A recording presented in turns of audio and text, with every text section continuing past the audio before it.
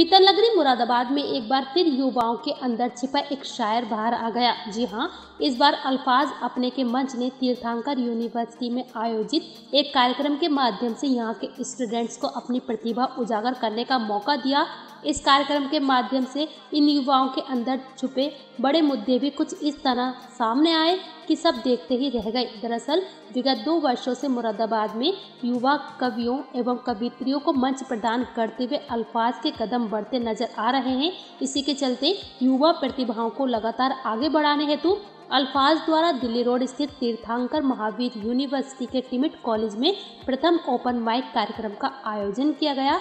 कार्यक्रम के दौरान कॉलेज के मैनेजमेंट और लोगों के छात्र और छात्राओं ने अपनी अपनी कला का प्रदर्शन किया। कार्यक्रम की अध्यक्षता अल्फाज की संस्थापिका, अभिव्यक्ति सिन्हा संचालन राघव गुप्ता व मैनेजमेंट अमर सक्सेना ने किया। वहीं इस कार्यक्रम में आकृति, मुस्कान, श्याम, अंचित, गिरीश और हरीश ने कार्यभार संभाला। वहीं टिमिट कॉलेज से principal doctor Vipin Jain, doctor Alka Agrawal, doctor Manoj Kumar Agrawal, Amit Verma, Vivekanand आदि ने भी पूरे कार्यक्रम में भरपूर सहयोग दिया। कार्यक्रम के दौरान गरिमा, उदित, पूजा अबिरल नंदिनी, रिया, वैशाली, जीनत, पलक, अक्षय, अनन्या, अंशिका, पायल, पवित्र, अभिनव, युवराज, अदिति, प्रियांशी, प्रियांशु, अश्वनी जैनवल और आयुष ने एक से बढ़कर एक उम्दा कविताएँ सुनाई, जिन्होंने सभी का दिल जीत लिया। तो वहीं नव्या, ऋषभ सैदा जोहा, अथर और महक के गायन ने इस कार्यक्रम में खूब सुर बिखेरे। वहीं अमीशा इकरा और अमन ने अपनी भावनाओं को व्यक्त करते हुए उम्दा कहानियाँ भी पेश की। इसके साथ ही अभिव्यक्ति ने बताया कि अल्फाज युवा साथियों को उनकी कला का प्रदर्शन करने के लिए एक मंच प्रदान करता है, जहाँ वे बेझिझक अपना हुनर दिखा सकते हैं और अपने अपने क्षेत्र का नाम रोशन कर सकते हैं। अभिव्यक्ति का कहना था कि टिमिट कॉलेज में अल्फाज का प्रथम ओपन माइक हर एक मायने में सफल रहा जिसके लिए वो हर एक विद्यार्थी और शिक्षक गणों का धन्यवाद देती हैं। वही कार्यक्रम में कॉलेज के विभिन्न छात्र और छात्राएँ सभी श्रोता के रूप में शामिल रहे। क्या कार्यक्रम क्या कार्यक्रम आयोजित कर रहे हैं? किस हमने आज अल्फाज के माध्यम से एक ओपन माइक इवेंट ऑर्गेनाइज कराया है टिमिट के ऑडिटोरियम में।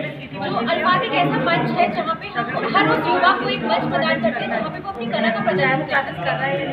अल्फाज पिछले दो सालों से मुरादाबाद में काम कर रहा है। आज हमारे टिमिट में ये पहला कार्यक्रम है। और आप हमसे इस पे अपनी पोइट्री स्वरचित रचनाएँ जो भी हैं शायरी कविता या ये सब चीज़ें परफॉर्म करें ये किस तरह के कार्यक्रम आयोजित किए गए हैं आज इसमें?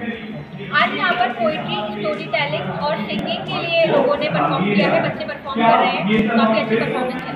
क्या संदेश दिया गया है समाज को आज में अल्फाज समाज को ये संदेश देना चाहता है क्योंकि जो बहुत सारी ऐसी बातें होती हैं जो वो जनता के सामने नहीं कह पाते। तो एक अल्फाज ऐसा मंच देता है जहाँ पे वो अपनी सोशल मीडिया के थ्रू अपनी बात को कह सकते हैं सबके सामने अपनी भावनाओं को रखती रहती है। जैसा आप एक युवा हैं और युवाओं को क्या संदेश देना चाहेंगे अपनी तरफ़ से भी आप? मैं हर एक युवा को यही संदेश देना चाहूँगी कि हमारे साहित्य को कभी ना भूलें। हमेशा कुछ ना कुछ अपनी कलम से ऐसा बिखेरते रहे जिससे युवाओं को या अन्य बच्चों को और अन्य जो हमारे साथी हैं उनको एक एक मोटिव मिल सके कि वो भी आगे बढ़ सके और कुछ कार्य करें। लेकिन जैसे देखा गया है कि जो है ना बहुत से आजकल कहते हैं कि बच्चे जो है ना अपने माता पिता का सम्मान नहीं करते गुरुओं ने सम्मान करते लेकिन आपके कार्यक्रम के माध्यम से इन चीज़ों को ज़्यादा उजागर किया गया है। जी बिल्कुल। हमारे यहाँ जो आप बच्चे पोइट्री पढ़ रहे हैं उनमें कई सारे बच्चे ऐसे हैं जिन्होंने के ऊपर सामाजिक मुद्दों पर ऐसा कुछ बोला है जिससे आज के काफ़ी बच्चों में उनका माइंड जो है वो डाइवर्ट होगा और वो अपने माता पिता के आदर के लिए काम और मैं अल्फाज के माध्यम से यही कहना चाहूँगी कि अगर आप अल्फाज को जुड़ना चाहते हैं तो अल्फाज हर महीने मुरादाबाद में एक ओपन माइक कार्यक्रम आयोजित कराता है, जहाँ पर आप अपनी स्वरचित घटनाएँ कर सकते हैं। इसके लिए आप हमारे सोशल मीडिया प्लेटफॉर्म से जुड़ सकते हैं।